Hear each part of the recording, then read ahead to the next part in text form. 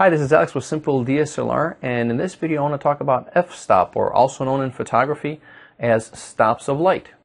This is a quick definitions video on f-stop, so if you've watched more online video tutorials and the term was thrown around but not explained, well, you'll have it here.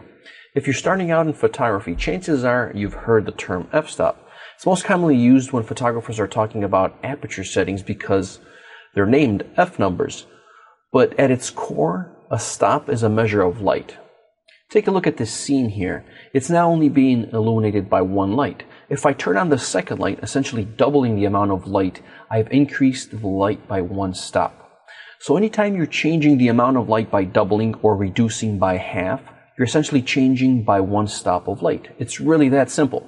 Now a camera is designed to control the amount of light that comes in before it gets captured and turned into an image. And there are three mechanisms in your camera that do that. We all know they're the shutter, aperture, and ISO. If you're not familiar with these, I'll tell you at the end of the video where you can get more information on them so that way this will make sense. If we look at their values, they directly relate to stops of light.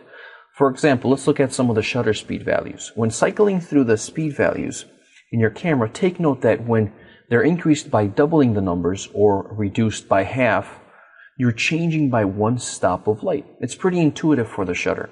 If you double the amount of time that the shutter is open for, you essentially double the amount of light coming in.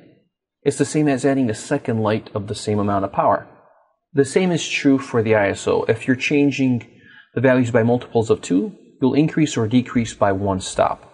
This also applies to the f-stop aperture settings, except they don't follow this easy rule of thumb of multiples of 2, but they also represent changes of stops of light. You'll just have to memorize them. Looking at this scene again, only one of the lights is illuminating our subject. I put the camera into manual mode to demonstrate this. That way the shutter, aperture, and ISO can only be changed manually. Now if I turn on the second light of equal power, we're essentially doubling the light in the scene, and you'll see a change on the light meter by one stop. By the way, the scale on the camera's light meter represents stops of light. One stop, two stops, and so on. So now we've overexposed the image by one stop but by reducing either shutter aperture or ISO by one stop, we'll achieve the same thing with our image. For example, if we increase the shutter speed by doubling from this to that, what we've done is reduce the amount of time that the shutter is open for by half the time. So we're getting half the light as we were getting before, therefore canceling out the second extra light. This applies to aperture and ISO the same way. Change your aperture f-stop number by 1 and you'll get a one stop light difference. Dial back your ISO by one stop and you'll have a one stop change. It's that simple. Doubling or reducing by half the amount of light represents one stop of light. Well, that's it on f-stop. If you want more videos like this explaining the basics of photography, like the stuff we talked about earlier, shutter aperture and ISO, check out my website, simpledslr.com. There's more videos there all in one place, and you'll find a link in the description of this video that'll take you there.